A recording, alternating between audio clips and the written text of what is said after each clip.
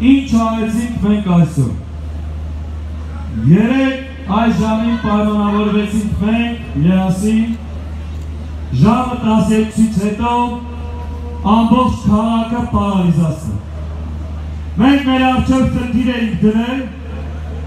որ պետք է կանգնացնենք քաղաքի շարժը։ Եվ ժամը 12-ից հետո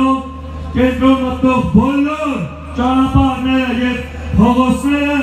ձեր տրամադրության տակ են։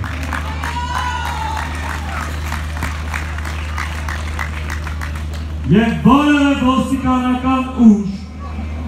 որևէ զորքեր չեն կարող կասեցնել մեր ընթացքը։ Ինչ պետք է անենք առաջկա օրերին։ Չորս ուղությունով ամբողջ կենտրոնը,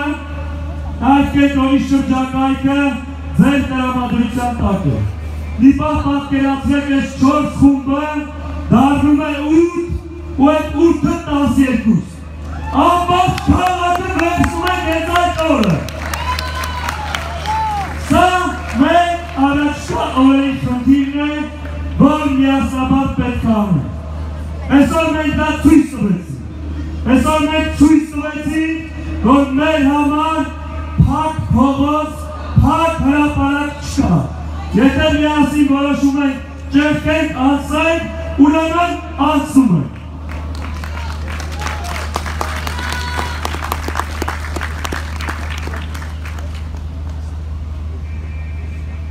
Հարգելի հայրենակցը, այս օրերին միջազգային մամուլի ուշադրությունը սևերված է այս հրապարակի վրա և մեր գործողությունների վրա։ Մենք ամբողջ աշխարհին ցույց տվեցինք եւ փաստեցինք, որ Տեր ենք մեր հայրենիքին,